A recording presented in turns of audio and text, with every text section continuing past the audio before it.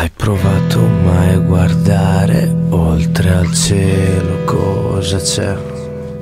Quante volte hai visto solo nuvole? Poi hai guardato verso il sole col bagliore che non è, che non è possibile guardare più.